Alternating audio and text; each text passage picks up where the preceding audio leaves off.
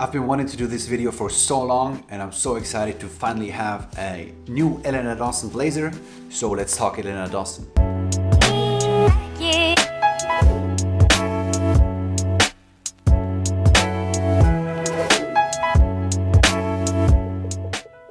What is up everybody? Hope you're doing well. In today's video, this is kind of a special one and it's close to my heart because I've always been a big fan of Elena Dawson. Maybe for those who don't know, couple of words to uh, Elena Dawson. So if you're like into avant-garde or like a certain aesthetics, certain sort of like niche of avant-garde, even though that's already a niche, right? And you're familiar with Paul Harnden, you probably also know Elena Dawson, right?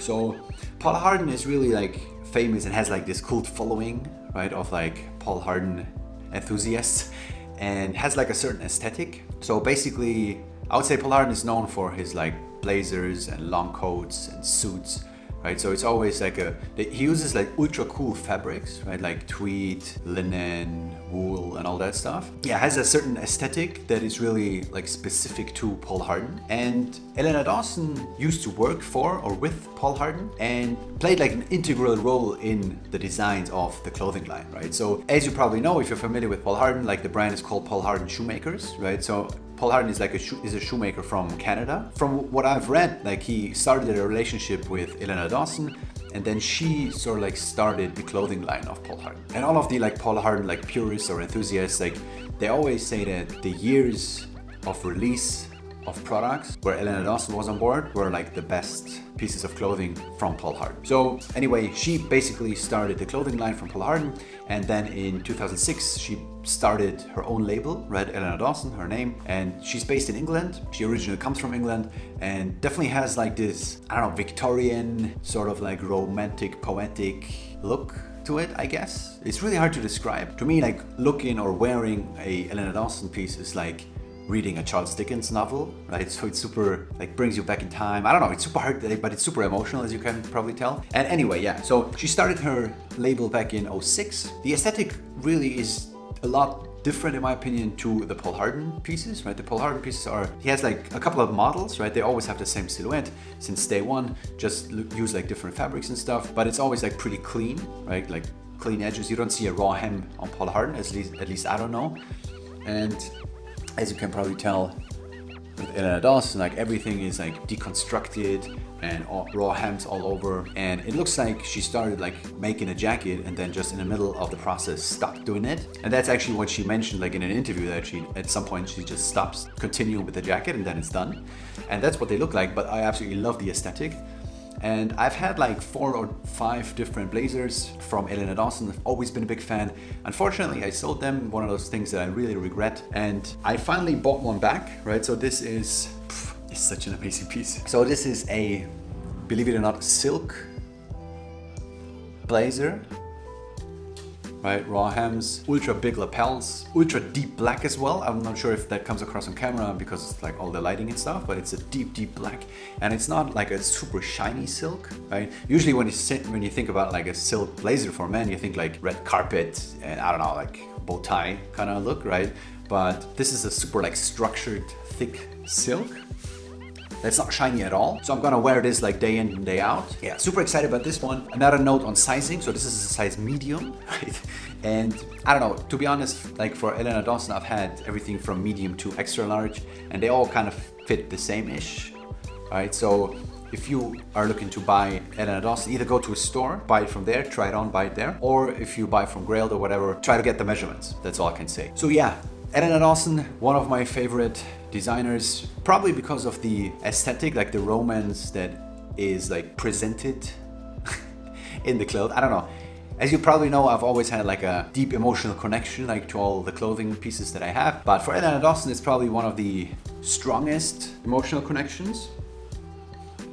Last year when I was in Paris, I went to L'Eclaireur and weirdly enough, Elena Dawson is not stocked in their Hérold, like the, the Hérold branch that they have, right? The store in Hérold Avenue, I think. That's like their main avant-garde store. And they have Paul Harnden there and CCP and all those. But Paul Harnden is in that store and Elena Dawson is in a different branch from them. I don't know why, but I went there and I tried on the most beautiful tweed coat. It was like a long gray tweed coat. I tried to find a picture and, and show it to you. It was incredible.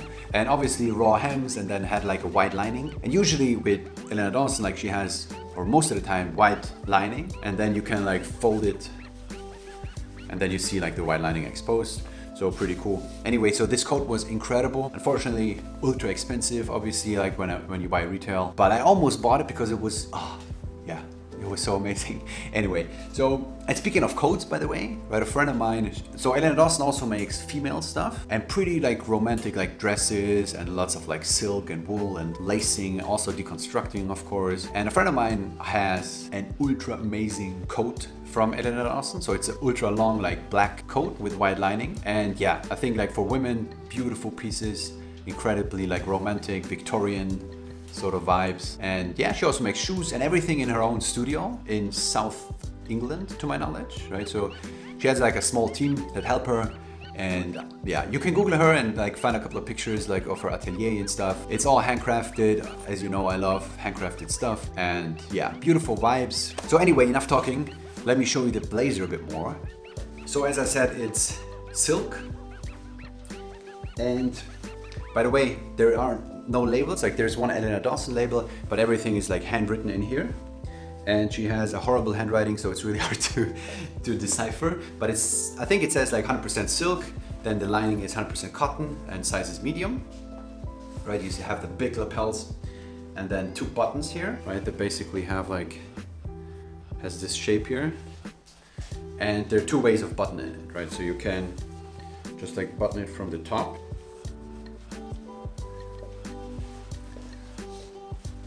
Closed like this.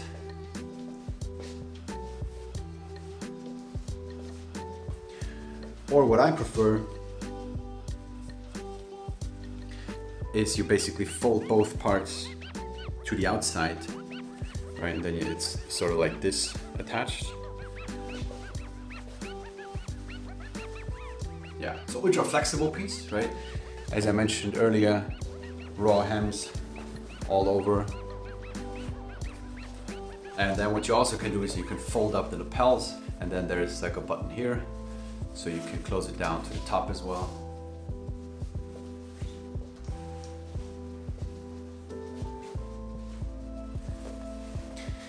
And as I said, everything is like deconstructed and not fully finished.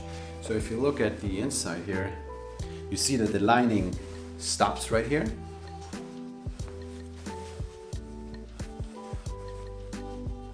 You have like all the raw hems here.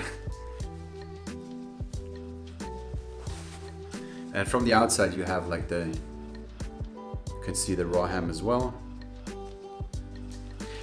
I actually prefer when there's white lining because then it's like the contrast, right? You have a black jacket and the white lining and the hems and everything like phrase. But I think this looks beautiful as well. Beautiful shape top as well. So this is the label that I mentioned. And then the handwriting here, you see the medium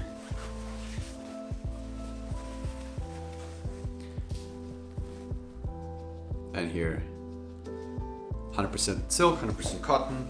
And as I said, it's like a super structured and thick silk, right? Then you have one button here on the sleeve as well. So pretty unique piece.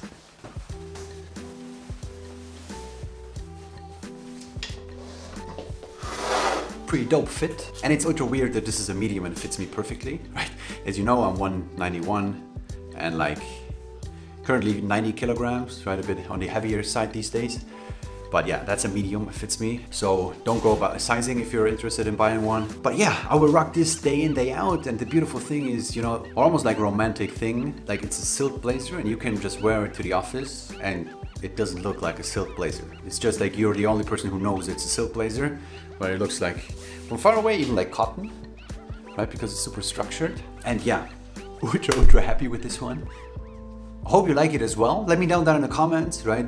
I, mean, I know like, especially like raw hems, like either you love them or you hate them. And I think like the people that are more into the avant-garde stuff on this channel, at least like they prefer the raw hems, but the techwear people usually don't like raw hems that much. So let me know down in the comments, like what do you think about the blazer? Have you heard of Elena Dawson before, right? Definitely check her out. And she's listed in all the major avant-garde stores, right? Like Dat Moscow and uh, etc. And yes, check Grailed if you're interested in buying used, which I probably recommend because prices are pretty high, but still worth it to me. Like the, the, the quality is absolutely there.